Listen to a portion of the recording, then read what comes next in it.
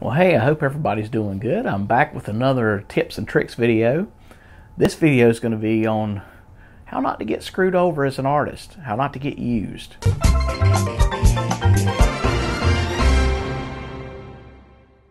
So let's jump right in with number one.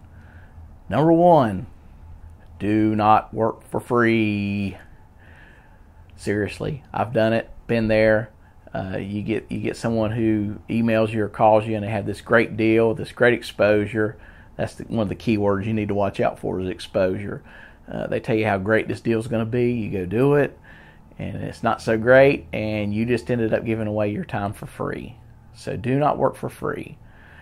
Now, I'm not saying you can't be charitable. I'm not saying you can't be a nice person, but just understand that not all charities are good. Not all charities are real. So one of the things I started doing years ago, and I stick to, is I don't care who it is. I don't care who the charity is.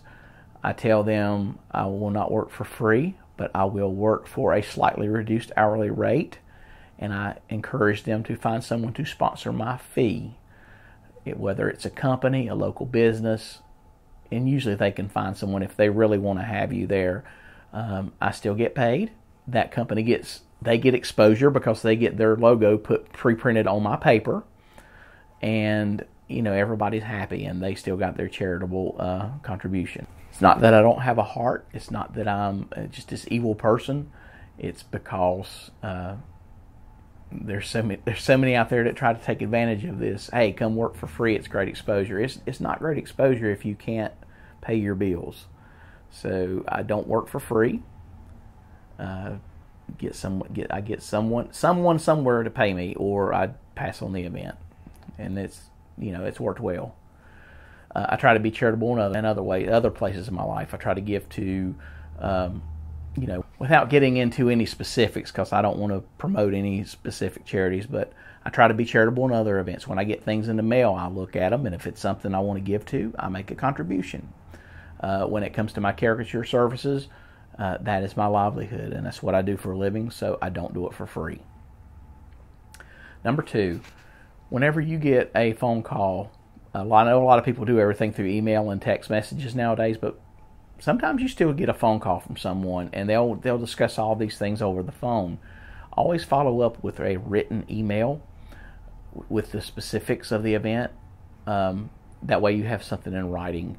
Uh, eventually, you're going to get to we'll get to contracts in a minute, but at the very least, you need to have something in writing that says, "Hey." You know what you're going to do, what you're doing for the person, what the charges are for, and be specific I've made the mistake before. Uh, real quick example: a while back, I had a gentleman who wanted me to come to his house to talk about designing his wedding uh, wedding wedding invitations, and I didn't tell him, you know, ahead of time. Hey, you know, if you do, there's to be a consult fee. I didn't tell him that, so I showed up, and I thought this was going to be a done deal. You know, we're going to sit down, we're going to talk about, it, and I was to take pictures and go home and design it. Well, come to find out, he just wanted a consultation. So upon leaving, I'm like, okay, I'm, i need a $50 uh, consult fee for driving out here. And he got furious and he's like, get out of my house. I'm like, okay, cool, no deal, no, no problem. And I left because in retrospect, you know, whenever we communicated, we communicated over the phone. There was never an email exchanged, and there again, I, everything wasn't communicated with him. Uh, that was as much my fault as it actually was. It was my fault because I didn't specify those things. So just just be wary of when you're dealing with people uh, to always be concise and be spell out what you need for money wise and er- everything. Spell it out and do it through an email. That way you have it in writing. Number three, uh, this brings me to contracts. I always have a contract, have a contract or some type, uh, and I hate to use the word contract because it's not really a legal contract as much as it is just a written agreement of what you're going to do. Uh, and real quickly, both signatures, yours and theirs. You sign it, send it to them, have them read over it and sign it that says that they agree, and they send it back to you. Because if you just have them sign it, then you know where, where's your where's your uh, stake in the game. Make sure it's both parties. That way, it's holding you liable for what you should do, and them liable for what they're supposed to do.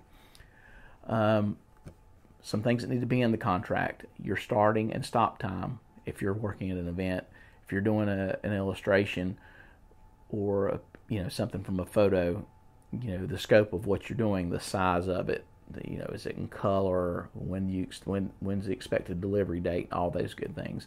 You need to have all your specifics um, in there, anything you can think of. Try to try to be as thorough as you can. Uh, logistics, if you're especially if you're in an event, you know. Um, and I'll put, and I'll put a link to my, one of my blank contracts at the bottom. My logistics I specify do not put me in front of a loudspeaker. Make sure I have chairs. Make sure I have adequate space. Make sure I'm protected from the elements if I'm outside. And if, if and it's their responsibility if you're working an outdoor event and you know it pours down rain and they don't have a tent for you and you can't work. You know it's you make sure that they understand that they're responsible for you having uh, protection from the elements. And if they don't have it, you know, then there's that way they can't say, well, hey, it's raining, you can't work, we don't pay you.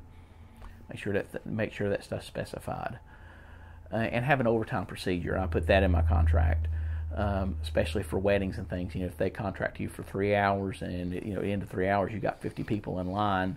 Uh, you know, what should you do? Should you go ahead and close your line down? Should you go ahead and stay for another specified amount of time that they pre-approve, or should you find the hostess or person who hired you first? Uh, put all that in there. That way, there's no misunderstandings. Um, I've, I've heard stories of artists who stayed overtime at an event because they thought it would be okay, or because you know somebody will come over and say, "Yeah, it's okay," and you know, and it was just some drunk drunk uncle or cousin that had nothing to do with the wedding, and you stay another hour. Like, no, we didn't have a budget to pay you another hour, and guess what? You're not getting paid, dude. So yeah, make sure that's all covered in your contract. Number four, uh, on a lot of contracts or in anything that you're doing, get a non-refundable deposit um, for a live event. That way, if they cancel, if they move the event date or whatever, and you don't get contacted, you know you've got something. It's you know you may not necessarily be able to, to book something else, but you've got something that covers at least, you know, and it can act as a kill fee, act as a kill fee on illustration. If you spend time on a, a layout sketch for someone and they don't like it, you've got something for your time.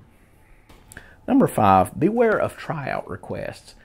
I don't get them as much anymore, but earlier on when I was a newer, newer artist or younger, I used to get these people who would call me or email and they would say, you know what, I want to send, you know, we want to do 20 caricatures for our staff to go to give as gifts for Christmas. Will you do one for free as a tryout to to see what your work looks like? And I tell, and of course, back in the day, I would do that, but and and sometimes it worked out, and sometimes it didn't. But here's the deal if you're established, if you have a website and you have samples, they can look at your samples and they can see, you know, basically what your style is. And if they want you now, I understand if they're if they're investing, you know, a lot of money and a lot of work from you, I can understand wanting to kind of get an idea of a sample. So this is what I tell them. Yes, I'll be happy to do that with pay. So so here's the deal. Let's say they want to commission you to do uh, 35 caricatures at you know $50 a head. That's quite a bit of money. Well, say, sure, I'll, I'll do one for, you know, the same rate, $50. And that, you know, because there's no reason you should have to work for free. That goes back to number one, don't do work for free. Because what if, you know, what if they're doing, what if they're reaching out to like, you know, 30 different artists and doing that? Then they end up getting their whole project done for free. You know, and if some of the caricatures aren't good, they can, you know, there's, there's there's sleazy people in this world. Most people are good. Most people are not out to screw you over. I'm, that's not what I'm saying at all. But they are people who do not value your time, and that's you know that's kind of the whole reason for this list to begin with. Uh, number six, stick to your prices. And on prices, I'm not going to tell you how much to charge because you know I don't know where you're at experience wise. I don't know where you're at, um, how much you think an hour of your time's worth. I know what an hour of my time is worth. I know what I charge. Uh, so I print those prices out, and they're beside right beside my um, my desk. When the phone rings, I can you know if I ever in doubt, I can look right over there at my price sign. I know what I charge for caricature. I know what I charge for live events. I know what I charge an hour for illustration. And anytime I give someone a quote on anything, I can look at my hourly rate and I can give an estimate. And I'm usually pretty close in uh, what price I give someone. So with everything, uh, stick to your prices. That brings me to number seven.